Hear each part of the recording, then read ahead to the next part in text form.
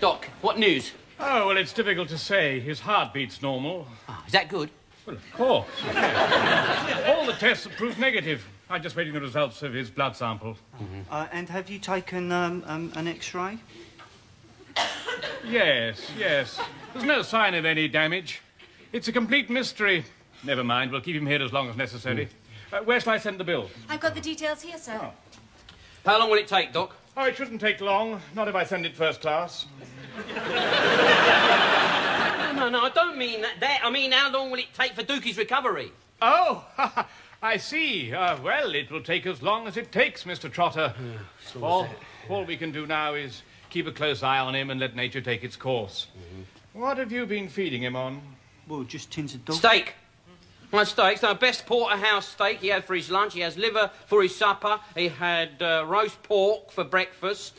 You know, only the very finest. He's had his milk, he's had his vitamins, you name it, he's had it. Pork Mm-hmm. for breakfast? Yes. Was it freshly cooked pork? Yes, freshly cooked the night before. Did you reheat it thoroughly? Well, Well, we warmed it up a bit, yes. You warmed it up a bit? Oh, well, I think we may have solved the mystery. Were neither of you aware that white meat, particularly pork, unless thoroughly reheated, is a notorious breeding ground for salmonella poisoning? salmonella poisoning? Do you reckon that's what Dukey's got? Well, it's a strong possibility, wouldn't you say?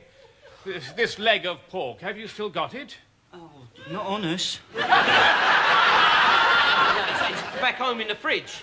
Uh, could you bring it in for examination? Yeah, we'll pop back and get it right away. Come on, No, Will. dustman come round today. Albert might have slung it. Oh, no, that dozy old git. Can I use your phone?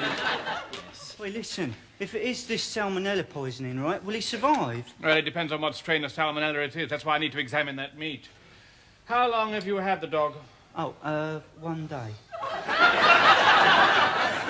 One day? Oh, no, you see, ain't our dog, it's a friend's. We're just look, looking after him.